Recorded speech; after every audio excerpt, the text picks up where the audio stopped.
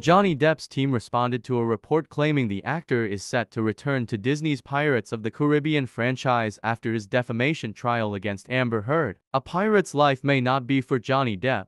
On June 27, a report surfaced claiming the actor was working on a $301 million deal to return to the Pirates of the Caribbean movie franchise. Disney is very interested in patching up their relationship with Johnny Depp, a source told Poptopic close to four years after the actor parted ways with Disney. They are very hopeful that Johnny will forgive them and return as his iconic character. But before Depp fans get too excited, a representative for the actor told NBC News, this is made up. Depp played Captain Jack Sparrow in all five movies, the latest one being the 2017 film Pirates of the Caribbean Dead Men Tell No Tales. Back in May, Pirates producer Jerry Bruckheimer, who is now working on two more films, was asked if Depp would be back for future projects. Not at this point, he told the Sunday Times. The future is yet to be decided. The comments were made when Depp was in the middle of his defamation trial against ex Amber Heard. During the trial, Depp shared that he has no interest in returning for more Pirates movies. At one point,